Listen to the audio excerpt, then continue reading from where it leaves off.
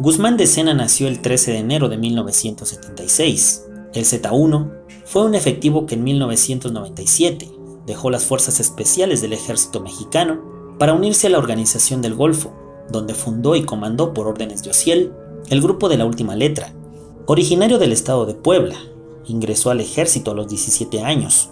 Ya enlistado, demostró ser un elemento capaz y muy rápido se unió al grupo aeromóvil de fuerzas especiales, en el tiempo que estuvo enlistado, Arturo fue sometido a diferentes entrenamientos y con el tiempo adquirió diversas habilidades. Cuando aún estaba enlistado, fue enviado a trabajar a Tamaulipas. En aquel estado, comenzó a relacionarse con gente del grupo del Golfo.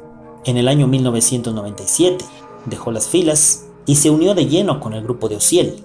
En los años siguientes, Arturo reclutó a otros elementos enlistados con la intención de formar un grupo especial que tendría como objetivo el cuidado del jefe de Tamaulipas. De esta forma, y con los conocidos y contactos dentro del ejército, Decena formó al grupo de la última letra. Arturo se convirtió en la mano derecha de Ociel hasta el 21 de noviembre del año 2002, cuando fue enviado a Mejor Vida. Decena y otros compañeros que posteriormente se unirían a la letra fueron entrenados por las fuerzas especiales de Israel y Estados Unidos, así como por los caibiles de Guatemala.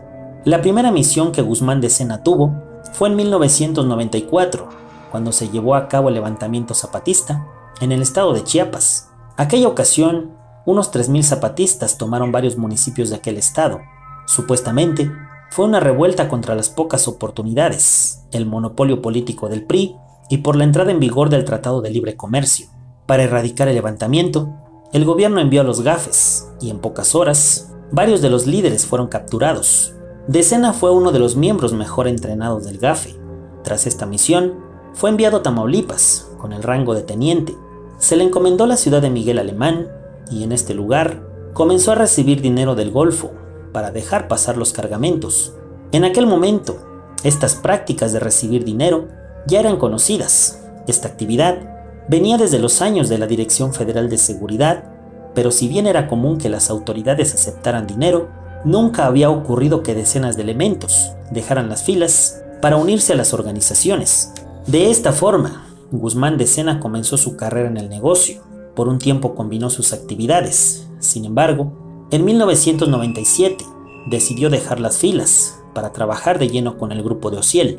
No se tiene claro por qué Arturo dejó las filas. Una explicación es que el teniente desertó en busca de mayores ganancias. Después de ver a muchos jefes del negocio, vivir de manera lujosa y ganar en un año más de lo que un efectivo podría ganar en toda su vida. Esta hipótesis no parece del todo convincente, ya que como teniente e integrante del GAFE, Decena tenía un sueldo competitivo, claramente no comparado con las ganancias en el negocio, pero podría haber vivido cómodamente. Cuando se pasó al otro bando, se convirtió en fugitivo.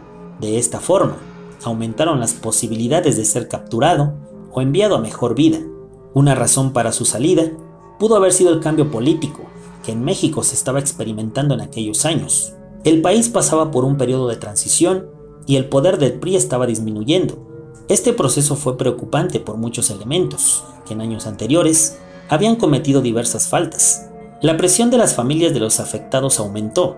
En esos días, muchos enlistados habían sido capturados por faltas cometidas en el pasado. En medio de esta situación, Guzmán de Sena quizá pensó que sería mejor dejar el sistema y aliarse con sus nuevos amigos.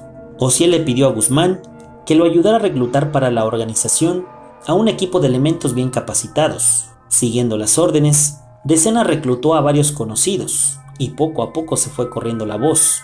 Con el paso del tiempo, fueron cientos los que empezaron a dejar las filas.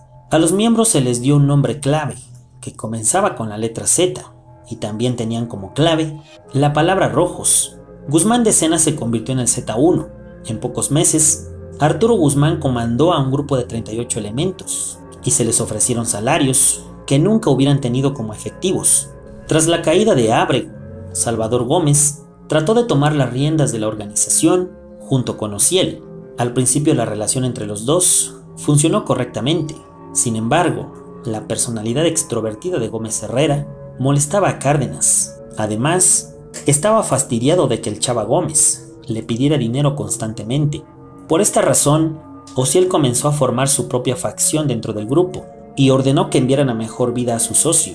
El 2 de junio de 1999, después de una ceremonia de bautizo, Ociel ordenó a Decena que enviara a mejor vida a su amigo Salvador, quien en aquella ocasión era el padrino de la festejada. Gómez Herrera fue invitado a subir a la camioneta de Ociel inmediatamente después de la ceremonia. Ambos platicaron durante varios minutos. Entonces Decena, quien iba sentado en el asiento trasero, envió a mejor vida al Chava Gómez. Con Salvador fuera de la jugada, Cárdenas ganó el control total de la organización. El 21 de noviembre del año 2002, Arturo Guzmán fue enviado a mejor vida en Matamoros. Según una versión publicada por Jesús Blancornelas, Guzmán de Cena fue a un restaurante, tomó algunas bebidas, salió y fue a visitar a una novia que vivía cerca del lugar. Para no ser interrumpido, Arturo ordenó a sus hombres que taparan todas las entradas. Sin embargo, uno de los vecinos llamó a las autoridades. Cuando llegaron los elementos, Guzmán de Sena no estuvo en condiciones de responder y fue enviado a mejor vida. Tras su partida, se colocaron flores en su honor en la acera donde fue borrado y en su último lugar de descanso. Con la partida de Guzmán de Sena, el mando de la letra fue asumido por González Pizaña, después por el Mamito, y posteriormente Lascano se convirtió en el jefe máximo de la última letra. El 14 de marzo del año 2003, Menos de cuatro meses después de la partida de Arturo, Osil fue capturado. La caída de Guzmán de Sena fue el primer éxito del gobierno contra la letra. Sin embargo, otras fuentes dentro del grupo del Golfo confirman que de Sena fue borrado por la misma letra, por órdenes de Ociel, ya que de Sena se le estaba saliendo del ruedo.